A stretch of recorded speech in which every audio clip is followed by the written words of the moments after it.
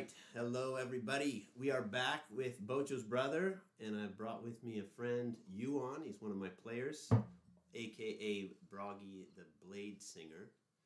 And we're going to be just talking shop today, talking Grim Hollow. Um, so, welcome to the Bocho's Brother channel. Thank you. This is going to be amazing. And look at the setting. Yeah, it's big production values here. Yeah, yeah, yeah. I got my I got my vampire seat here. Yeah, we got this specially for for this uh, for this podcast thing. Exactly. Yeah. So uh, we're in a campaign. We called it the Cold North because we started this how long ago? Two years, three years ago. Yes. Yeah, it's been quite some time, hasn't it? Yeah, yeah, yeah. We started it during the winter, I think. Exactly. Yeah, and that's initially, I think, what inspired uh, what inspired the setting because the map, Yeah. world of Etharis, we we started up north. Uh, I guess that's also uh, based on the location where we're at in real life. Actually, we're in the cold north. We are the cold north.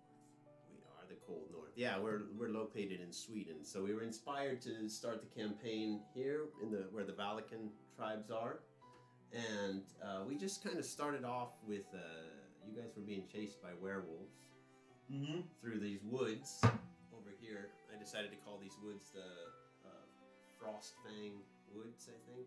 Yeah. or the yeah. Frostwolf Woods, up up for you to decide. And that uh, is actually a campaign that comes from the Grim Hollow book here. So we kicked it off with this one called Tavern of the Lost uh, from Fables of Etharis.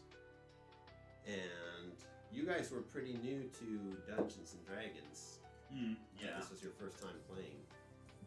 So, what was that experience like just coming into D&D having never played before? Well, actually, like I played a couple of times before with uh, friends, but uh, I never could get it get it to, to be sort of a continual uh, thing where where we had a, a story that actually tied together for a long period of time, maybe three sessions or something, and then somebody just uh, had other things to do in life, and and the game ended, and the characters died, like not in the game, but they died as ideas. So we had to start off again. Uh, so I was super psyched when I uh, met you, and I don't know why we, we started talking about this Dungeons and Dragons uh, getting and getting started because I got the idea that uh, Yeah. you were dungeon mastering, and May- Maybe I was wearing this shirt. maybe could be I don't know. that could be an obvious sign. So, Yeah, it- on the It all just kind of came together. Yeah. Yeah, around the time Grim Hollow came out. Well, the characters sort of grow on you, um, and when you start out, you have a, an idea of what you want to do. So, what we went into Norse mythology and had uh, to, to pick some sort of an archetype for this character, and uh, I chose the god Bragi. Um, he was a fitting archetype for the bard, I, I think, we've been tying in a little bit into into the Norse mythology and the way Bragi uh, is um, depicted in in in the stories.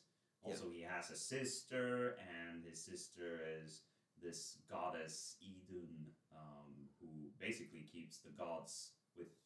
Uh, mm, she helps them to maintain eternal life through through some apples that she Yeah, she yeah, yeah, yeah. yeah. It's a god thing, and, And- uh, we're trying to tie this into the world here. Uh, not super obviously though. Yeah. yeah. But because she had eternal life, the whole vampire setting down here in uh, Novo Ostoya and everything combined well with that. Yeah. And with the whole Nordic uh, mythology, there some other characters have names like Heimdall the Druid, Mhm. uh, this frost druid. Uh, we have a guy named Creaky hmm from the Burak Empire. He's kind of this scrawny. Uh, he was inspired by the character Begbie from Trainspotting. He's this barbarian guy from the Burak Empire, and uh, yeah, um, basically, the campaign. I wanted to get it running quickly because there's so many cool abilities that you can get. Um, that you're always looking forward to, to. But like you said, you play a campaign for a month and then people move away and Mhm. you can't. So you guys were leveling up every week. Every Yeah, Sunday we played and it was level up, level up. So they were already level six, seven, eight, and as we moved, transitioned into the next adventure, which is also in the Grim Hollow campaign guide, we set it here in Runeheim, and in that adventure, um, we wanted to bring in elements that aren't just hit points as you get reduced to zero hit points. We wanted a insanity, corruption, and madness system, Mm. and a lot of games have included that in different ways. So I've kind of come up with a system that combines uh, things like chardalyn or Delerium from Drakkenheim, stone, uh, onyx uh, crystals that if you touch them, you're going to get some insanity or corruption. Dying can increase your insanity and corruption. Uh, coming into contact with some kind of aberration, Mm. uh, if you fail a, a roll, wisdom savings throw. And so they have like three levels.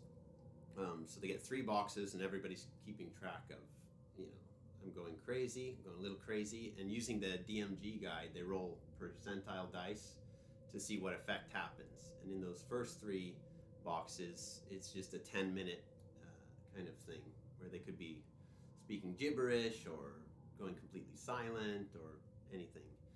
Once those three boxes are filled, they go to the second phase that can last longer, um, as long as a day, a week.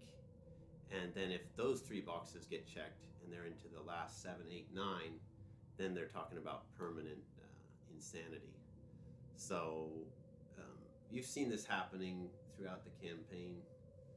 What What's your thoughts on having this as a, an additional element to the game apart from hit points, hack and slash, go through a dungeon, get the treasure? I think it really adds to the dimension of horror and uh, and the, the fear of the unknown that is part of the Grim Hollow. Uh, what appeals to me from with Grim Hollow, because I think the the original game and a lot of other games for that matter have you have a lot of comeback mechanics, and you're never really. I mean, you could die, but it's not. I mean, you have a lot of uh, of safety valves to sort of uh, get away from that. Yeah. But in in this style of gameplay, your character we had we had an accelerated growth curve sort of with our characters because they leveled up quickly and became extremely powerful. But then they also uh, became uh, afflicted with these insanities, these diseases, and Yeah. you're still playing a strong character, but you have a lot of drawbacks that, that sort of keep you in check. And at the end of the day, I think what kills you in this game is not is not what is not the things that you can see, but the the effects that what you do and what you uh, see in this world uh, are have what what the effects that that is having on your mind because the characters none of us are, are sane anymore. Yeah. and and it's we've had these moments of role play where we just look each other in the eye and we go it What? wasn't supposed to end like this. And and it's and we're all just feeling it. Wow that's there's nothing we can do. We can fight huge monsters but we can't fight this. This is in our heads. And um, Exactly. that adds to the flavor that is Grim